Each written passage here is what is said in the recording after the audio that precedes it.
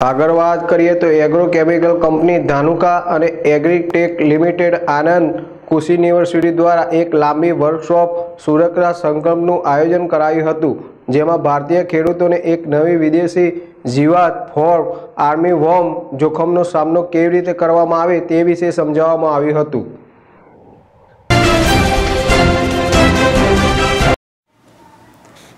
અમદાવાદ ખાતે agrochemical company Dhanuka Agritech Limited Anand કૃષિ યુનિવર્સિટીએ એક દિવસીય વર્કશોપ સુરક્ષા સંકલ્પનું આયોજન કર્યું હતું, જેમાં ભારતીય ખેડૂતોને એક નવી વિદેશી જીવાત ફોલ આર્મી વોર્મના જોખમનો સામનો કેવી રીતે કરવામાં આવે તે સમજાવવામાં આવ્યું હતું, જેને લઈને એક દિવસીય વર્કશોપનું આયોજન કરવામાં આવ્યું હતું. મકાઈના પાક પર હુમલો કરતી આક્રમક જીવાત ફોલ આર્મી વોર્મ ગયા વર્ષે દેશના દક્ષિણ અને પશ્ચિમી ભાગોમાં પાકને ઘણું નુકસાન કર્યું હતું.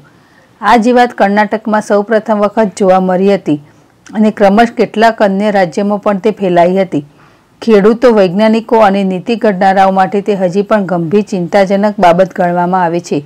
તેને ધ્યાનમાં લઈને આ વર્કશોપનું આયોજન કરવામાં આવ્યું હતું, જેમાં વૈજ્ઞાનિકો ચોક્કસ વિષયના નિષ્ણાતો, ખેડૂતો, વિતરકો, કૃષિ યુનિવર્સિટીના વિદ્યાર્થીઓ, કૃષિ વિજ્ઞાન કેન્દ્ર અને રાજ્યના કૃષિ વિભાગ વગેરેમાંથી આવેલા લોકોએ આ સમસ્યા અને જંતુ જીવાતનો સામના કરવા માટેના શ્રેષ્ઠ એગ્રી કેમિકલ અંગે ચર્ચા કરી હતી. આણંદ કૃષિ યુનિવર્સિટી અને ધાનુકા એગ્રીટેક દ્વારા હાથ ધરાયેલી આ પ્રકારની પહેલને આવકારવામાં આવી હતી. ધાનુકા એગ્રીટેક નવીન પગલાં લે છે અને કૃષિ પદ્ધતિઓમાં સુધારો લાવી ખેડૂતોને મદદરૂપ થાય.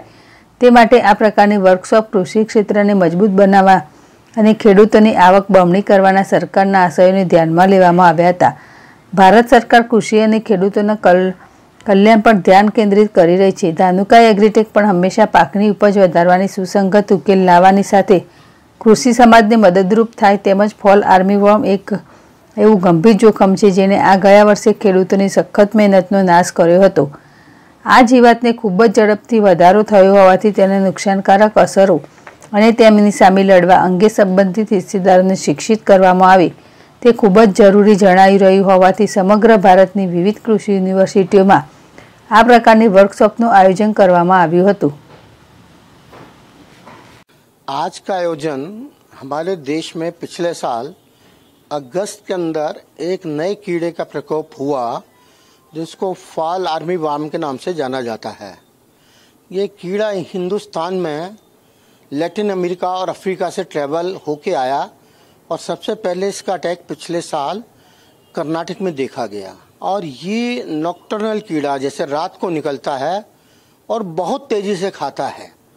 अगर ये कीड़ा लग जाए तो आप समझिए कि पूरा का पूरा आपका जो मेज़ का भुट्टा है, वो ख़त्म हो जाता है। यूनिवर्सिटीज़ डिपार्टमेंट के लोगों को सबके साथ मिलकर, हमने आनंद एग्रीकल्चर यूनिवर्सिटी के साथ मिलकर आनंद में कार्यक्रम रखा है।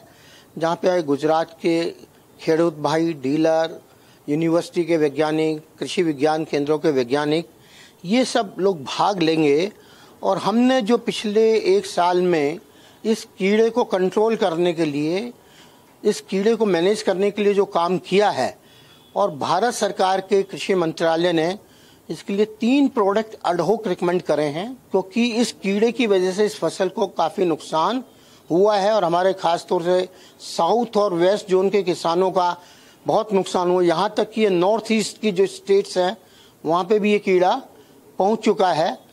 देखिए, हमारी कंपनी किसानों की आमदनी दुगनी करने के लिए बहुत प्रयासरत है।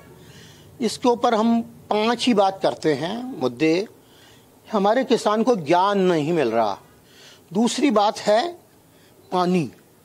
तो पानी के लिए हम सरकार का धन्यवाद करते हैं। हमारे माननीय प्रधानमंत्री जी ने नया जल शक्ति मंत्रालय बनाया और उम्मीद है कि आज जितने भी इरिगेशन के प्रोजेक्ट रुके हुए हैं, ये जितने भी कानून हैं essential commodity act APMC act ये जो भी रेस्ट्रिक्शंस हैं, इन सबको ख़त्म कर देना चाहिए। और जो फ्री ट्रेड है एग्रीकल्चर में भी हमको फ्री ट्रेड अलाउ करना चाहिए। जहाँ किसान की मर्ज़ी है, जब मर्ज़ी है, वो जहाँ अपना प्रोडक्ट कहीं भी बेच सकता है। ધ્વનિ પંચાલ જેડેશ ટીવી અમદાવાદ.